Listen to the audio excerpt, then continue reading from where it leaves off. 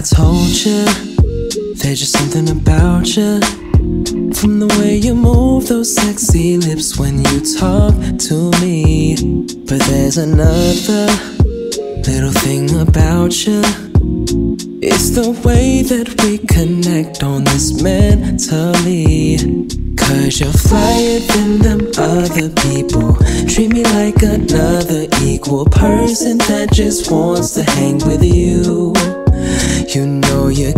But you're just searching for another individual who basically wants to vibe with you. I like how you take your pictures. I like how you sip your wine. I like how you study scriptures.